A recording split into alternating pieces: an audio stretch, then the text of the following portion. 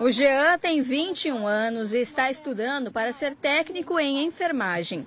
Há um ano conseguiu uma vaga em um hospital de Porto Alegre e pretende continuar por lá. Hoje mesmo já tenho uma responsabilidade absurda em minhas mãos e a gente sabe que o estagiário, assim como ele, ele a gente está num crescimento todo dia constante, a gente gosta né, de se ter aquela autonomia. Então hoje eu me sinto uma pessoa que começou quase um enfermeiro. O Centro Integrado Empresa Escola, o CIEE, fez uma pesquisa para saber qual é a motivação dos estudantes na hora de procurar um estágio. Para 70% dos entrevistados, o que mais vale é a experiência profissional e o crescimento pessoal.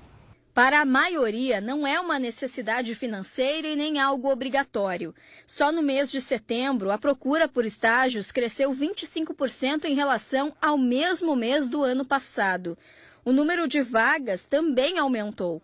Só o CIEE tem mais de 3 mil ofertas disponíveis para o ensino médio e os cursos técnico e superior. A quantidade de vagas que nós temos uh, em número maior hoje no estado do Rio Grande do Sul são para ensino médio, direito, pedagogia, é, administração, todos os cursos da área de TI, é, psicologia, ciências contábeis e as engenharias todas elas. Só que com a chegada do fim do ano, a procura dos estudantes diminui, justamente quando as empresas mais precisam. Essa é uma época boa, tá? Aliada aí mais a, é, vamos falar aqui final do ano, novembro, dezembro, janeiro, é, porque as empresas valorizam muito aqueles jovens que estão em férias, por exemplo, e mesmo assim estão procurando estágio, procurando se desenvolver, procurando uma atividade. Né? Nesse momento, então, eles param e não nos procuram. E é onde nós temos bastante vagas,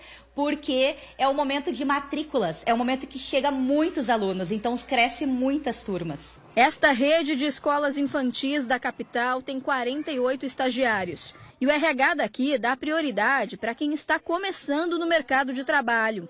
Gostamos muito de estagiários sem experiência, porque a nossa, a nossa ideia é que eles tenham crescimento profissional na empresa, no qual eles começam estagiando, aí depois eles vão para auxiliar de desenvolvimento infantil, CLT, e depois eles cresçam mais ainda, vão para professora, diretora, coordenador, coordenação pedagógica. A Maria Eduarda entrou como estagiária no mês de fevereiro e em setembro já estava efetivada.